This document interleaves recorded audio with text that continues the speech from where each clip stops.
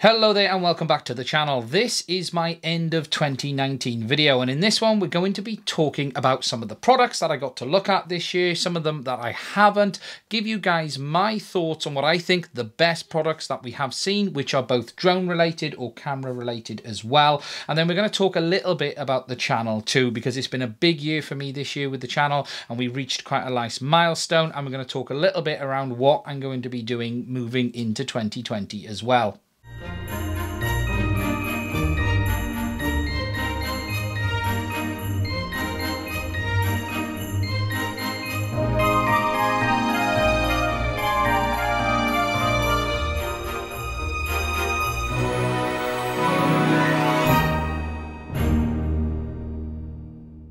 Okay, the first thing we're going to talk about is drones because that is primarily what we discuss on this channel. And it has been an interesting year, 2019, for the drone industry. And whilst we haven't seen a huge amount of hardware coming out, legislation-wise, it has been non-stop. And there's been a lot to talk about since the Gatwick incident, roughly this time last year. We've had the changes in the UK as we move towards drone registration and the adoption of how everyone gets on board with that, with the clubs and organisations. We've got the new EU rules coming into force mid 2020 we were going to have things like drone ID, the new aircraft classification system, and the changes around how commercial operators will work in the UK specifically, with PFCO really on its way out and moving more towards a permission based on what you intend to do and not specifically commercial operation. However, that side of it has kept us busy, and I have been talking quite a bit about that when I've been on SUAS News with Gary and the guys as well. However, hardware wise it has not been all quiet because there has been some really interesting stuff happening. On the DJI side really it's been a year of waiting to see what happens next year because DJI did announce halfway through that they were going to be putting ADSB in or their uh, detection system on all of their drones. And because of that you haven't really seen any new releases this year apart from the Mavic Mini. And really when you look at that it's more evolutionary than revolutionary revolutionary and whilst it is absolutely tiny it does blow me away of how small it actually is and the technology that's in it. It isn't a giant step forward like we've seen from some of the other products out there. Before i come on to the skydio i also want to mention to Yuneec as well because they have released the h3 this year. I haven't had a chance to see that myself but i did have a play with the h plus early in the year. And overall i have to say i was really impressed with that drone. It does have some of the best best camera controls I have ever used on an aircraft. I will say that. And I do like the integration with the ST16 as well. However, unfortunately, they don't seem to be able to capture the market just like some of the other manufacturers do. And you don't seem to get the fanfare around their releases like the others do as well. I would like to have a look at the H3 and I'm going to try and contact Yuneec early next year and have a play with it if it's going to be possible because it's going to be nice to see where it's at compared to the H Plus was because it does take things slightly forward. Talking about drones, there really is only one though that has made a massive splash in the ocean and the reality of that is it is the Skydio 2 and it is hard not to be blown away by the sheer technology that is in this drone. Now I was very lucky to be able to talk to Adam, the CEO, when we were on SUAS News with Gary and it just was really interesting to hear him talk about what they've been doing, how they've got to where they are today, and just some of the technology that is in that drone. Now, I haven't seen it myself because it's not available in Europe yet. I'm hoping to get my hands on one as soon as it is, but the US guys are getting their orders today, and you are seeing more and more interesting footage from this aircraft. Whilst the camera might not quite be at the level that you get with the Mavic 2 Pro or some of the other ones with the one inch sensors, where this aircraft really takes off is how it's able to use that sensing system with its six 4K cameras and navigate. And there's been a number of videos just this week showing you it moving through the woods, avoiding trees and branches, and another one showing you it flying through bridges right up close to metal. And the reason they're able to do that is there is no compass on board the Skydio 2. It is not using a mag whatsoever, and it is simply using that optical system to be able to keep the aircraft straight and navigate through those obstacles. So there is going to be a lot of interesting footage and interesting use cases coming up for this aircraft. And because it doesn't have that compass sensor, you're going to be able to do things that we've never seen people do before with drones. And as I said, flying down through the bridges and things like that. Now, it is early days yet, and the reality is no product is perfect. You are going to see issues just like like you do see with any other drone out there. But it is hard not to be blown away with A, what they've achieved, what they've delivered, and I am massively looking forward to seeing where it's at as we move forward into 2020. Now, talking about 2020 for drones, I suspect it's going to be a very busy year because whilst it would be easy to say right now, Skydio have the legs on DJI, that won't last for long, and it's hard to believe that DJI do not have something up their sleeve. You only actually have to look back a little bit of time ago when they did their Phantom X concept video that showed a Phantom flying through the woods, and that is basically what Skydio are doing today. So DJI were looking at this some time ago, so they're not going to be far behind. They also put out a statement earlier this year that they intend to integrate the ADS-B into all their aircraft, so we're going to see a whole host of new models coming with that new feature as well. So I do think 2020 is going to be a very interesting year. Sticking on drones and moving over to the racing side, I think the biggest thing that really caught my eye and what really stole the market this year was the DJI digital FPV system. Now, I was very lucky to be able to get my hands on this a little bit early before the release, and I was blown away myself at just how good this system was. When I first heard it was coming, I did do a lot of videos on the other system, the OcuSync Air system, and whilst I was impressed with it, it wasn't up to the standard people would expect for pure racing. And when I finally got my hands on this one, I was a little bit unsure how good it would be, but it was hard not to be again blown away at just how good it was. And whilst we have also seen Fat Shark release Byte Frost, DJI really have been putting in the punches with this system, releasing update after update and giving us more and more features every time, right up to the last update where we've now got the Betaflight OSD integration. Um, uh, if you'd have asked me 12 months ago, would have I expected DJI to have delivered this product? I'd have absolutely put money against it. But hands down, they really have changed the FPV industry as we know it today. And I am seeing more more and more posts from people saying, I'm done on analog, I'm completely moving over. And whilst it will never fully replace things for people, it does it for 90 percent if not more, and delivers what people want. And we're going to see some interesting stuff moving forward into 2020 with it as well. It isn't over. There's some hints of some new third-party air units on the table, and I think you're going to see a lot more interesting stuff around the FPV system as well. That isn't to say, though, Byte Frost from Fat Shark are gone, because I do think they are working away in the background and do have a very interesting product. They were clear clearly caught off guard with the DJI release. And whilst it's clear to see that they were working on something in the background, they was literally blown away. And, and it was their own comments just how good the DJI system was. However, they are not down and out and they are still producing updates and you are seeing more and more come from this system every day.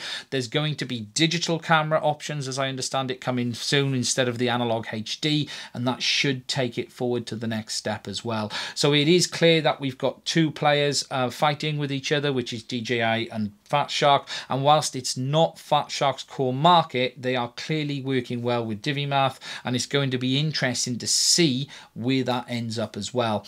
What it means for users is the industry is absolutely boiling away at the moment, and there's tons of innovation happening.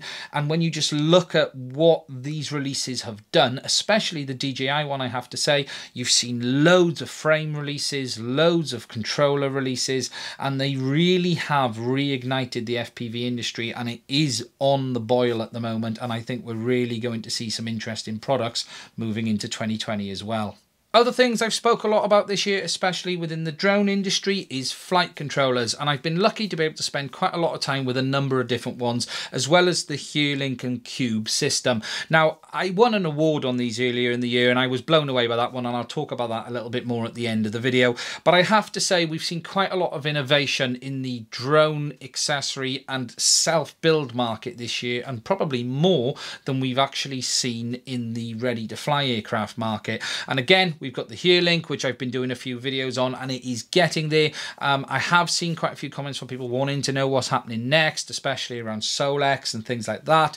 Philip assures us that it is coming. I think we just need to give them a bit of time. We've also had the Cube Orange released this year, as well as the Yellow and the other models as well. And you've now got the ADS-B on this one as well. This one is going into a build at the beginning of January, and I'll be documenting that one as well. And we're going to be doing a full setup on that one all the way through to getting it in the air. I'm probably going to use uh, an F550 on that one, which I've got over there. And again, it was really good to pop up and see Ben at 3DXR, who's an absolute wizard on all of this stuff. And he really does know his stuff. And I'm going to try and go up there actually this year and do a video from his workshop as well, because it is an absolute Santa's cave and you could probably spend days and days in there and keep finding new stuff that's interesting to look at. However, what we'll do is we'll do that again as we move into 2020. But with regards to the cube stuff, I do want to thank the guys over at 3DXR. We've managed to borrow some equipment this year.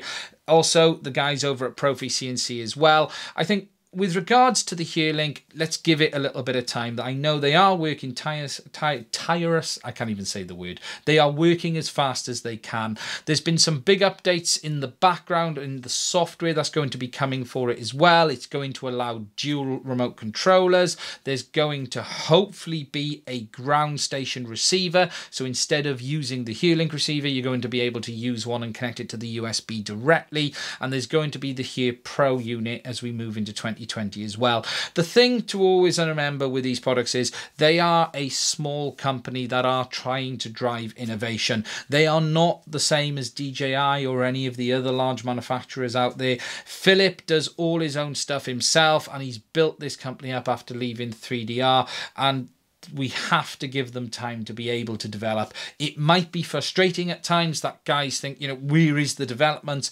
But I do know that they have a huge amount in the pipeline. They've got some fantastic people working with them in the background, and we will see it coming as well. And the thing to remember is, you know, Philip, for the most part, does the hardware, and then ArduPilot delivers the software or PX4. And whilst sometimes it can be frustrating that one system works with one bit and it doesn't with the other, it is an open source community. Even the hardware is partly open source as well for the most part.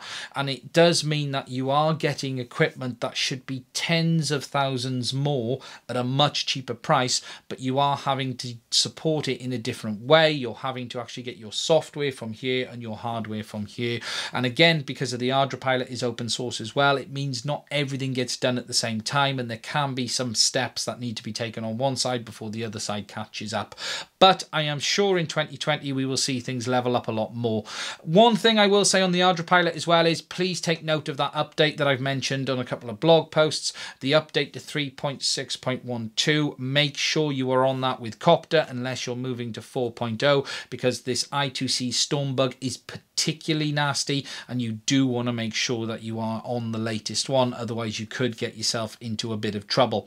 But overall uh, it's been really good to look at this stuff this year. I also had a look at the uh, V5 Plus from CUAV and that's a very nice flight controller as well. I'm going to try and take a look at some more as we move into 2020 because there's been a, number of other ones showing up too so we're going to try and get them in. As a new one from CUAV too and I'm going to speak to them and hopefully have a look at that as well now with this gear as well, I've also been building the Rover, which I've got hiding down here on the floor. Progress is being made. Now I haven't done a video on this for a little bit of time because I've been tied up on some other stuff with work, but things are happening as you can see like this. I've been doing a lot of 3D printing with bits around the sides, plastic panels. I've got a, a little laser rangefinder mounted on the front. You might have seen a post from me with the light on the front, but unfortunately that affected the uh, way it was working, so I've taken that off and that's going to go on the top. Um, I'm going to be doing a number of videos on this over the next couple of months. Again, showing you where I'm at with it, the progress. I had a bit of a fail on my part where I managed to rip the USB port off the board on the motor controller. Entirely my fault. I'll talk about that in a video as well. And I've now had to hardwire a USB cable to it. But things are in progress. It is happening. Don't worry. And I will talk about that again in January when I'm ready to share with you guys what I've been doing. And we have got a Cube Purple with the Herelink in this one as well. Overall, I think 2020 is going to be quite a big year for the drone industry. We are going to see a lot more models from DJI as they integrate their ADS-B system, as well as bring things forward, as we've seen with Skydio. We're also very likely to see the Phantom 4 Pro version 2 in February, because there's hints that that is coming back in its original version. And we're also going to see things like the Skydio release into Europe, as well as the Evo 2, and what else Parrot bring to the table as well. And don't forget Yuneec, they're always there in the background too. So I think overall for the drone industry, it's probably going to be a, quite a big year and I would be holding your money back if you are looking to purchase a product now and wait to see what's just around the corner. Moving on to cameras, because I've also been looking at quite a few cameras this year, and I don't really talk photography a lot on this channel, but I do do quite a bit of it. Now, for me, I had got the chance to have a look at the Osmo Action as well as the Osmo Pocket, and I have to say I was really blown away by the Osmo Action. It was a loaner unit, so I didn't actually get to keep it, but I really did like that little action camera, and for me, it was all about having that screen on the front and having that ability to frame your shots. Now, we have seen GoPro Introduced their new version. However, if I was choosing between the two today, I would still choose the DJI every time simply because of that front screen. However, if you did need the HDMI output, you are going to need to go with the GoPro. Larger camera wise, and that's something I'm going to talk a little bit more about on the channel actually as we move into 2020. Don't worry, I'm not going to turn into a photography channel, but I do do a bit about it. And for me this year, I bought myself the Sony a6400. I record all my videos on the GH 5 and I am going to talk a bit more about what equipment I use to make my videos because for me I'm not a professional photographer I'm not a professional videographer but you do end up learning a lot just making videos like this and buying new equipment and I'm going to try and talk a bit more about that. Now for me the a6400 was my biggest purchase this year and I can't say I'm 100% happy with it if I'm honest. Before that I had my GH5 that I'm using here and I absolutely absolutely love that camera. It is my favorite camera I've ever had. It's great for stills, but for video, it is just perfect. It allows me to do everything I want to do and the fact that MFT lenses are so cheap means you can build up a big set of lenses with used prices from as low as 50, 60, 70 quid and you can have as many options as you want. However, I did need a second camera for B-roll so I decided to go for the A6400 and whilst I like the camera, it hasn't really blown me away and I do regret not buying another GH5 if I'm completely honest. And the reason for that is as follows. I bought it with the 18 to 105 which is a really good lens. However I'm disappointed at the minimum focus on this lens the focus distance compared to the subject. Compared to the lenses I use on my Panasonic and I've got the 12 to 60 f2.8 on here at the moment um, that lens is brilliant. I use it for 95 percent of my work. However, the 18 to 105, the focus distance is nearly twice as much as the lens on this. It's no good for getting up and close when you're doing reviews and stuff like that. And the battery life just isn't that great on this camera as well. And whilst the Sony is a nice camera, I'm not as impressed with the overall autofocus system as I thought I would be because you always get the comments from the Panasonic and the Sony going, the Panasonic autofocus is useless, the Sony is amazing. Whilst it is very, very good, I would still not use autofocus at all for my videos. I just wouldn't do it. The pulsing is still very noticeable and it just doesn't lock as well, in my opinion, as using manual focus. So really, whilst it is a very nice camera, I am a little bit disappointed with it. And hands down, if I was buying another one today, it would be a GH5 again, just because of A, the amount of lenses I've already got for it, but B, the capabilities that it's got, and I'm just so used to it. I've got to spend a bit more time with it in 2020 just to try and make sure I do get as good a use out of it as possible. But here and now, my default camera every time always will be the GH5, just because I can set it up, hit record, and I know what I'm going to get out of it. Um, but we will try and do a lot more with that in the year. And I'm going to talk a little bit more about that later on as I do a couple more videos. Um, the next real big thing I'm going to talk about really for photography is microphones. And really, I've spent the last two years messing around with audio. If you listen to my videos from probably two years ago, the audio was terrible. And I'm getting to the stage where I'm fairly happy where it is. And I've gone through so many different microphones from cheap ones, the Tezcam, Tezstar off Amazon. I bought a Rode VideoMic Pro, which uh, to be honest, I'm not a fan in any at all. It just didn't do what I wanted it to do. And then this one product come along that absolutely blew me away. And again, it's from Rode and it's what I'm recording this video on now. And it is the Rode Wireless Video Mic Go. And it is this little thing here. So sorry if the audio is going to get a bit funny. This kit, and I did a review on this earlier in the year, has completely changed how I do my videos. I'm going to get a lav for it because I usually have it hanging off my shirt. For this video, I'm just going to pop it back up there. However, it it has been absolutely outstanding and my favorite photography or videography product I've bought since buying the GH5 itself. If you're considering getting one of these kits, don't think about it. Just buy it. I sure you will not be disappointed. I'm going to get the lav for it as well. The only reason I haven't done it yet is it's quite expensive to get the official one for it. And when you buy this kit, it's at a reasonable price. But the lav is, I think it was another 60 or 70 quid when I was looking. It might not be quite that much, but it was more than I thought it was going to be. But I'm going to pick that up now in the new year. But for me, really, the Rode video, uh, I think it's the Rode Wireless Go, the official name of it is. There's a link to my video of it in the description absolutely the best video product of the year for me, hands down, and it really has changed the way I do my videos. Leading on from cameras, the next thing to talk about is gimbals, because that's something else we've discussed a lot on this channel this year, and specifically the Ronin series from DJI, the Ronin S and the SC.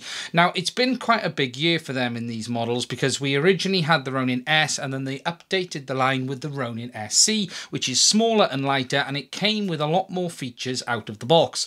Now, this did set many users up in arms, saying, why is the smaller, cheaper version better than the original one that I had? And DJI pretty much solved that for everyone by bringing all of the new features that we had on the Ronin SC onto the Ronin S, including Active Track and Force Mobile. And it has to be said, DJI have really gone out of their way to level up the feature set between these two products. And the Ronin S overall has become a very, very good gimbal. And you can choose the model that best suits your needs, whether it be the SC for up to two kilos, and then the S, which has a larger payload. Now, for me, the SC covers pretty much all of my use case and it works perfectly fine with my GH5 and the Sony as well.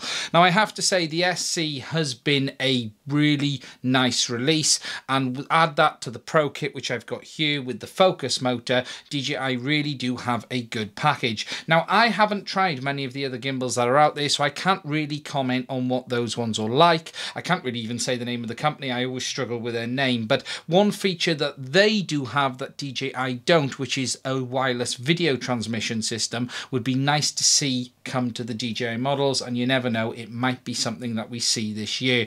The way that works is you simply uh, plug in your camera to the gimbal and then it transmits wirelessly to your smartphone the HD video image and whilst DJI don't have that one of the big features that they brought this year was the addition to control your gimbal via a gamepad. Now if you've watched the channel you'd have seen I did a video actually on controlling the S with a normal RC remote using the S bus input. However the problem with that is it doesn't work with all features unless you're using Futaba, and to be honest, it's a little bit temperamental. However, this year DJI, only a month ago, added the ability to control it via the gamepad support via the iOS 13 or via Android, and to be honest, this has changed how you're able to use the gimbal, the fact that you can control it remotely with the sticks, as well as zoom or focus via the triggers on the top as well, and I did a video on that if you haven't seen it, and I'll put a link to that one in the description of this one as well. But really, when DJI bought that to these models, it really added a nice set of features that pretty much rounds these models off. If we could see something on the wireless HD side, it really would make it perfect. Overall, the guys at DJI, especially Paul Pan and his team, have done a good job on the Ronin, and it's going to be very interesting to see where they end up next year. They've really continued to bring developments regularly to these models, and it's probably probably the stablest product out of the DJI lineup in the sense of the one that's had the most continued development that I've seen for quite a long time, and that's fantastic for users of them. So it'll be interesting to see where we end up, and hopefully we might get some new products in the lineup over the next couple of months. Now for me, next year on the Ronin series, I'm going to try and show you guys a few more accessories because there's a big ecosystem developing around these. Whilst DJI have released quite a number of them themselves, including the dual handles and things like that, there are a lot of third parties making some really nice kit as well, including SmallRig. Now I've had a few companies contact me and ask me to have a look at their handle and things like that, but if I'm honest, nothing I've seen so far I thought really warranted me putting the time into doing a review because it was a very basic and simple product. However, I am going to try and get in the dual handles and I'm going to try and get in a couple of the other things and show you guys them in action on these gimbals and try and show you what else you can do with them as well. Something I do want to do a bit on is the base unit that is available for the Ronin S. I can't remember the exact name of it, but it's the remote base that allows you to attach it without the battery and connect it onto various vehicles like cars and things like that or jibs and I'm going to try and get one of them in as well and show you that in action too. We'll just have to see how the year goes on and see when I'm able to do it. But overall I have to say the Ronin S has been a really nice addition this year and it's actually gone down very well on the channel and it's been one of my most watched videos actually all of the Ronin series of products so I want to thank you guys for doing that as well. And overall for cameras, that's really about it. I'm going to talk a bit more about my equipment, as I said, in the new year. I'm really, really fancying a S1 um, I, I haven't got the money to buy one, but I really, really do fancy going full frame. And if I do, it won't be an A7 III, I think. I'm going to look at the Panasonic system.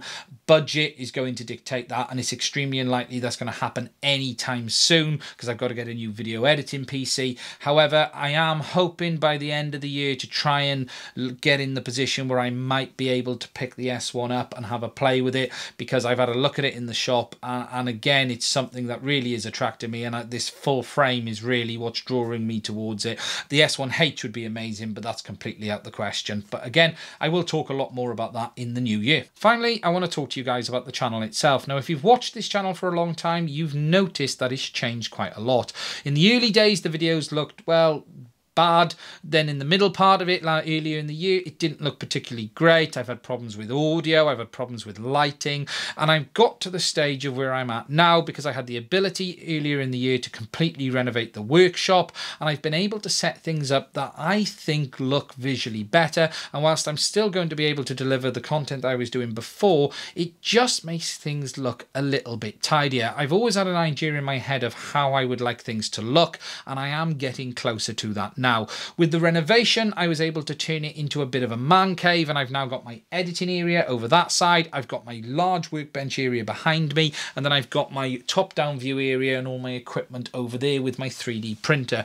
I still have my heavy engineering bit, which is down that end, and my original bench is still there that I used to use when I did all my Phantom 3 videos. But for me, it really was just nice to be able to get things looking a little bit tidier, get a table in the middle, and just have somewhere to sit down and talk you guys, and just have it so it was visually pleasing as well as the content being okay as well.